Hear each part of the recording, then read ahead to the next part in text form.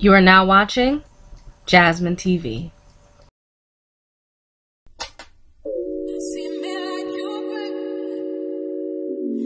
Shouldn't have